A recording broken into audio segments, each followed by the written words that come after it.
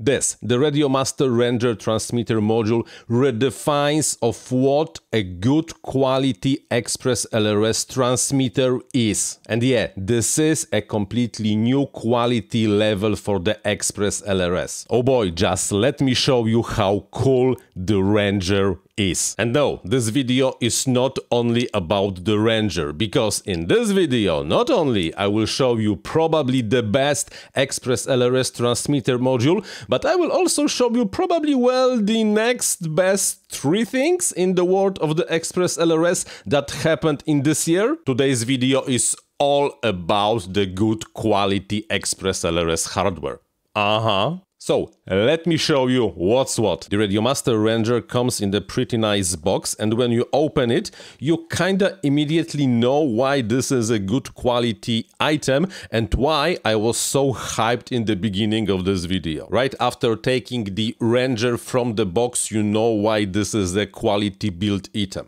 Because unlike almost everything that competition offers, the case for the Ranger is made from the CNC aluminium premium. Pretty heavy with a joystick, OLED screen, two buttons and the integrated fan inside. In the bottom we will get XT30 connector, USB-C for upgrading the firmware, additional connector over here I will not cover right now, and on the back only this small thing. And of course the SMA on the other side of the box. You might ask, okay, how am I supposed to connect this thing to my radio? Well, super simple. Together with the Ranger you get two adapters. This one, the bigger one allows you to install it in basically any standard radio that has the JR Bay and the second adapter fits nicely in all the other smaller gamepad like radios. So you just take the Ranger, take the adapter, connect them together by putting the plug into the socket which is kinda hard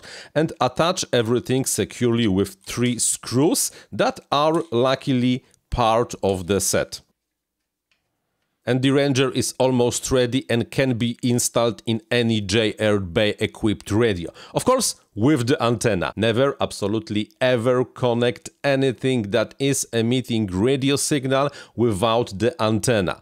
This is the shortest way to burn the power amplifier inside. Ranger comes with two antennas. One, you get a standard 2.4 GHz dipole, which will give you nice coverage everywhere you will fly, and you will also get this teeny tiny pretty nice Moxon antenna, which is a directional antenna. So if you want to go pretty pretty far, probably the Moxon is the better option for you. So just screw the antenna to the SMA connector and we are done. Now the only thing that is left is to plug the Ranger into your radio. Well, you have to admit that this is kinda biggish transmitter module, but some has pretty nice feature and you are ready to go. Oh yeah, you get some fancy red lights over here two buttons and the joystick and of course the OLED display that gives you the information about the frequency,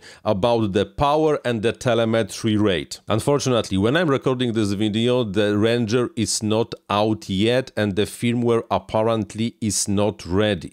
Because as you can see, the OLED works, there is some kind of action sometimes connected to the joystick and the buttons, but I'm not really sure if this should work like this. Because in the standard screen the joystick does nothing, you can move it however you want and nothing happens. When you press any of the buttons once, one more time, nothing happens. Only you get to special options when you press the blue one twice.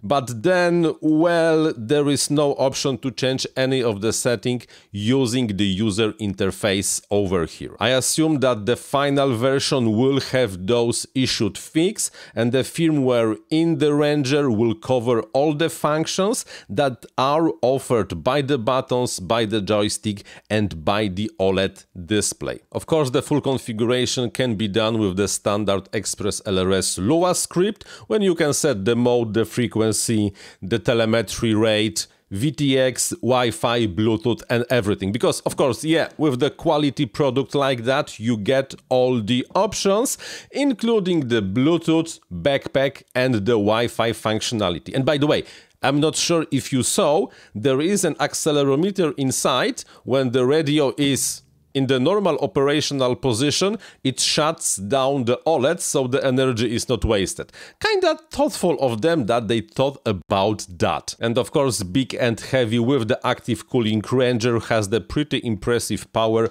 of 1 watt. If you really want to go far, 1 watt option is absolutely for you. However, let's be honest, in the most conditions 100 milliwatts should be absolutely enough. The Ranger module I got came of course with the Express LRS 3 installed, however with version unknown. Like I said, this is still probably the experimental build and when the Ranger will be finally on the market, it will have full support of the standard Express LRS firmware. You have to agree, this is pretty impressive. In the meantime, do me in the meantime, do me a favor, hit the like button and write in the comments on what is your current or perhaps the future RC Link. What do you like about the system that you are using, what you are missing and what is your expectation for the best RC Link out there. Thanks, it means a lot and it helps to grow the channel. Like I mentioned in the beginning,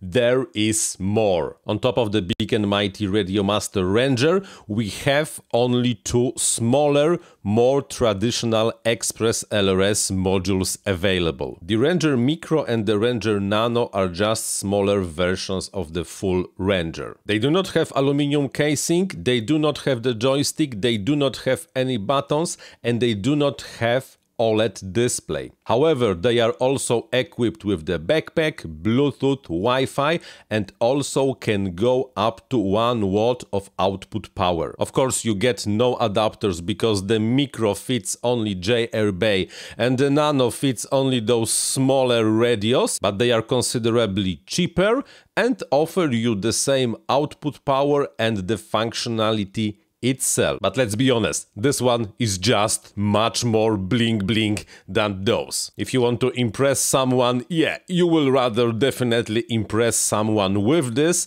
over those. But if you don't care about all those extra features, those modules are absolutely fine for you. What's left are the receivers. Let's begin with the RP3, which is an Express LRS 2.4 GHz diversity receiver with the 250 milliwatt output power, so you will get telemetry even if you are far far far far away. Bear in mind, this is antenna telemetry, not two radio chipsets working in parallel. The great option if you want to go far with the flight controller equipped drone or the airplane. The remaining receivers are the ER5A and the ER5C. They are small PWM equipped Express LRS 2.4 GHz receivers with 4 PWM outputs, channel 1, 2, 4 and the fifth channel that can work as the on-off switch. They are compatible with the HV servos, they can be powered from up to 8.4 volts,